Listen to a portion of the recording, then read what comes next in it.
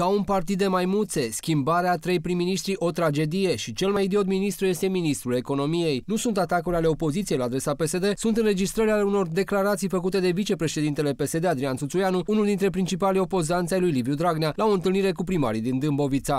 Nicăieri nume nu s-a pornit să te duci la președinte cu un nume de prim-ministru pe care partidul nu știe. Sub pretextul că să nu-l atace, că nu știu ce, a plecat și să-i duce aici.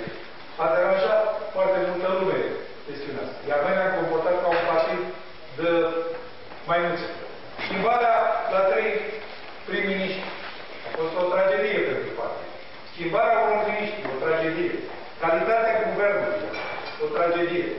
De exemplu, a sărit la mine el de la Piatra Neamț, președintele de organizație, care mi-a spus la, așa de undeva de la masă, de acolo, băi, lăsați-mă voi cu ale voastre nu știu ce. Și am spus, cum o, cum cheamă pe ăsta? Ațel.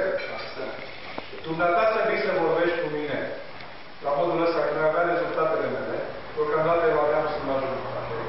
Și al doilea, când ne vei explica de ce ai nominalizat, și noi am înfițit cel mai idiot prin ministru care este ministrul economiei. Acest ministru este atât de prost încât nu poate asculta mai mult de 5 minute când vorbește cu cineva cu Și are legătură cu economia următoare. A avut o vulcanizare.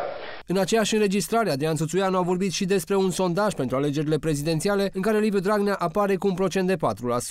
Claus Iohannis câștigă turul 2 și cu Călin Popescu Tăricianu și cu Gabriela Firea, iar pe Liviu Dragnea îl bate de zvântură, a spus Țuțuianu. După difuzarea înregistrărilor, Adrian Țuțuianu a precizat că declarațiile care îi sunt atribuite au fost scoase din context. Însă, cei vizați de cele spuse de vicepreședintele PSD au reacționat. Ministrul Economiei, Dănuț Andrușca, a spus că se gândește să-l dea în judecată pe liderul PSD Dâmbovița. Liderul PSD, Liviu Dragnea a anunțat la rândul lui că afirmațiile făcute de Adrian Țuțuianu vor fi analizate în forurile interioare ale partidului.